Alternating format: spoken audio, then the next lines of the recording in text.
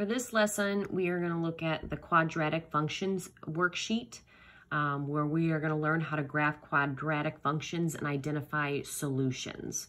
When we were solving the equations earlier uh, by factoring or by using the quadratic formula, what we were actually doing was finding the solutions for that particular function.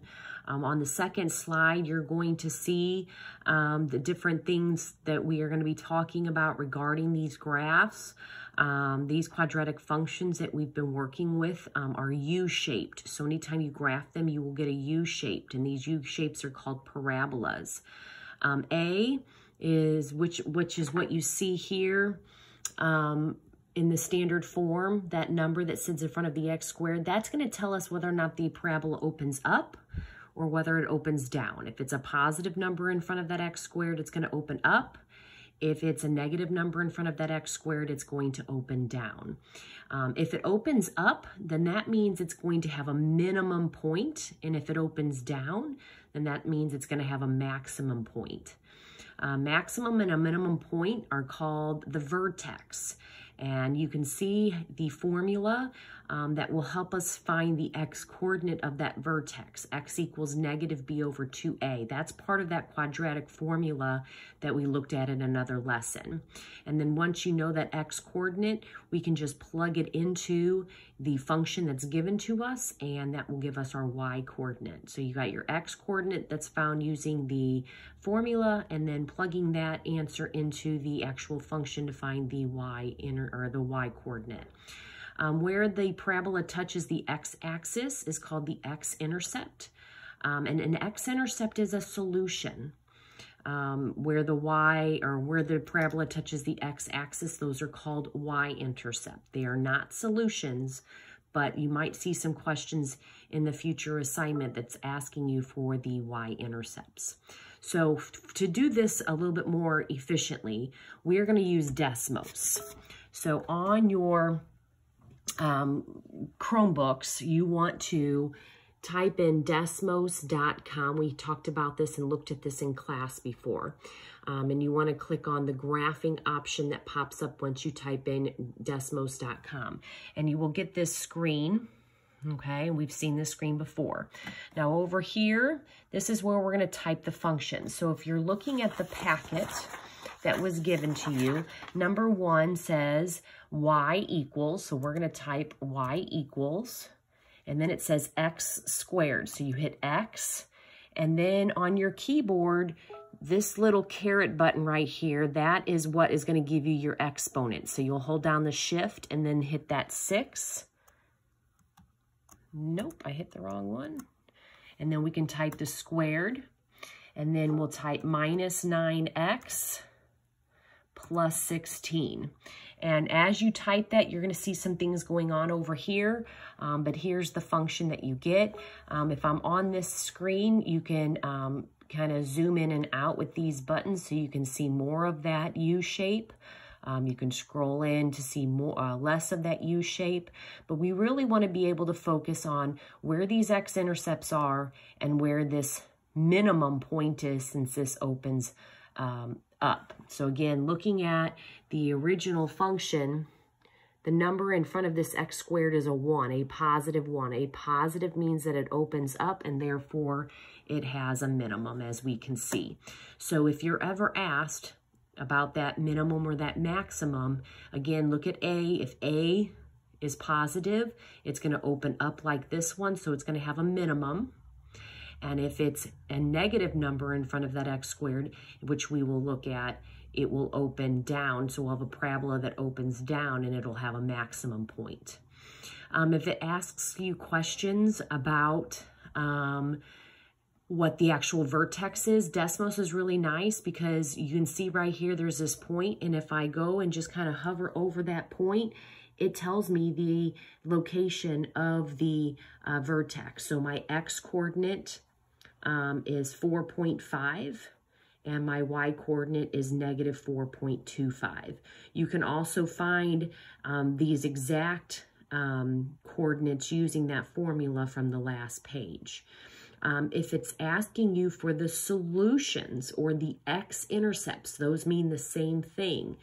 X-intercepts, where is the graph touching the x-axis? You can see that there are two x-intercepts, one here at 2.438, uh, comma 0, and one here at 6.562, comma 0. Make sure that if they are asking you for solutions or x-intercepts, that you write them as a point with an x and a y coordinate and a parenthesis uh, around them.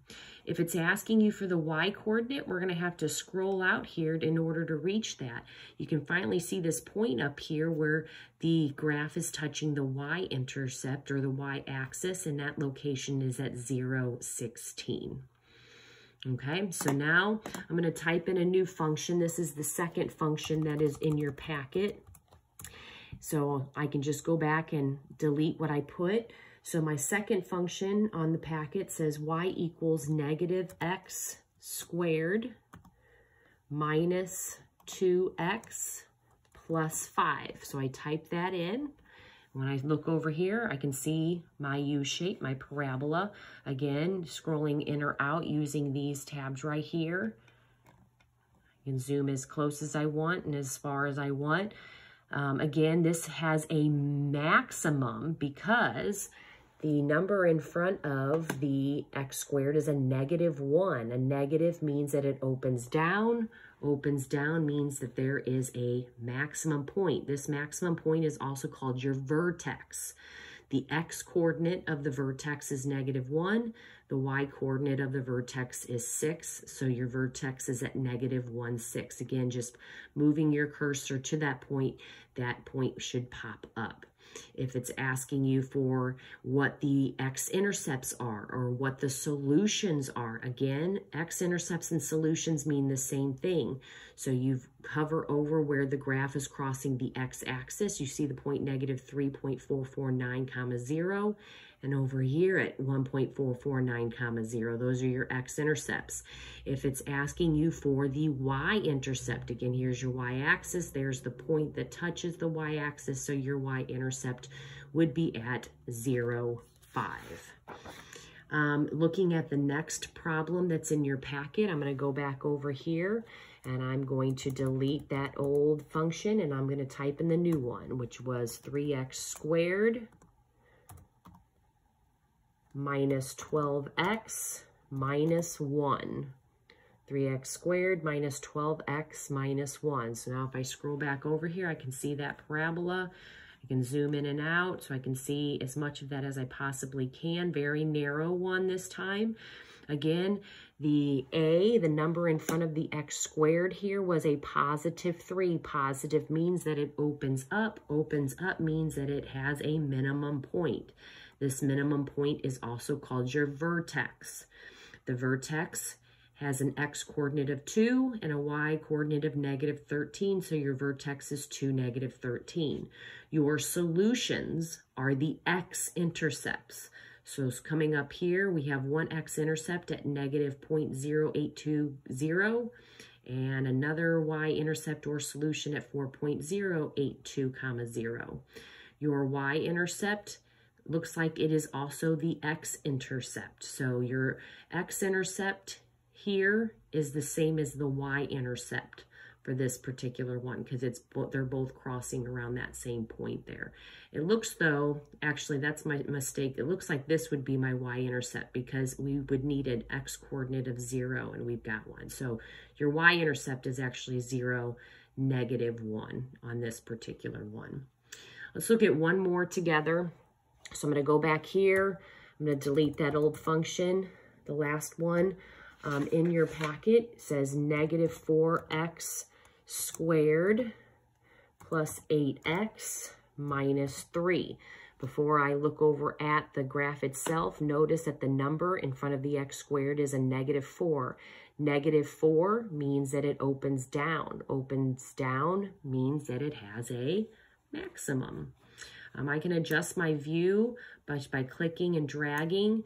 Um, again, zooming in and zooming out so we can see some of the things on this screen a little bit better. So you can see it has a maximum point. I can go to that point and click on it.